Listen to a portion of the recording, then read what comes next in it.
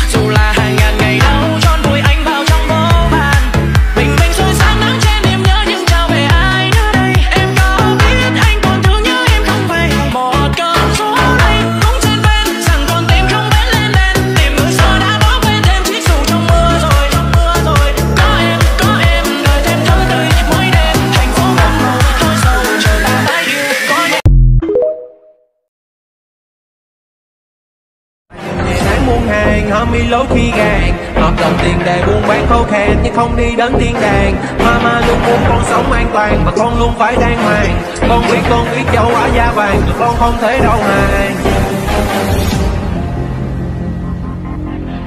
Yeah.